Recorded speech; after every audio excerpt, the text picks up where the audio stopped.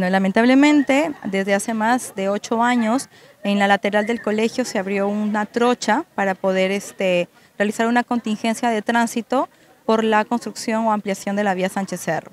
Lamentablemente esta trocha quedó habilitada para tránsito pesado, lo cual genera eh, un levantamiento de polvo que bueno, afecta la salud y de nuestros estudiantes. Bien, adicional a eso, como esta zona no tiene alumbrado público, no tiene una vigilancia este, de los serenazgos o de las, em, de las áreas encargadas, eh, se ha vuelto un, un, botadero de basura. ¿no? Es el dren de Petroperú.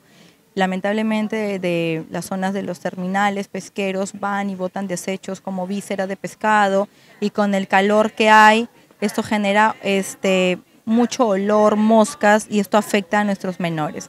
Nosotros tenemos una comunidad de estudiantes de 715 niños, adicional a ello tenemos casi 60 colaboradores en planilla, entonces estamos hablando de un aproximado de 800 personas aproximadamente afectadas.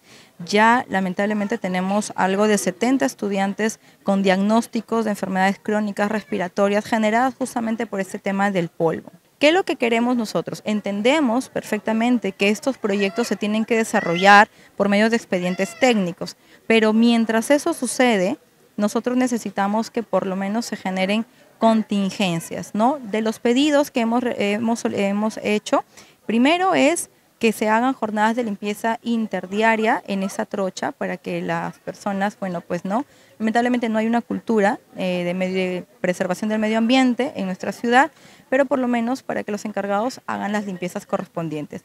Y para poder minimizar un poco el polvo, hemos solicitado eh, que se coloquen eh, rompemuelles para este tránsito pesado, adicional a eso que se pueda hacer un regado. Entendemos que estamos en una crisis hídrica, pero eh, según lo que se ha indagado y también por información de personal de la municipalidad, se puede lograr con eh, el recurso hídrico de la laguna, que no es para consumo humano, entonces no estaríamos afectando.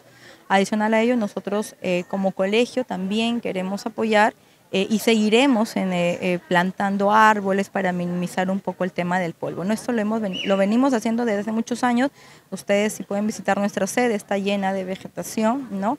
Entonces, estas son las alternativas que les hemos dado. Eh, nos afecta, afecta a todos los niños porque pasan vehículos pesados, de carga pesada, que originan una polvareda pues, este, que no es sana para nuestros niños, y más que todo para los niños que, por ejemplo, tienen que almorzar eh, ahí en la institución educativa eh, está trayendo varios, problemas de salud. También eh, podemos advertir también un, hay un tema del recojo de la basura, hay un dren que se ha convertido en un botadero de basura y que bueno eh, genera unos olores nauseabundos que también no son, no son sanos para nuestros, para nuestros niños.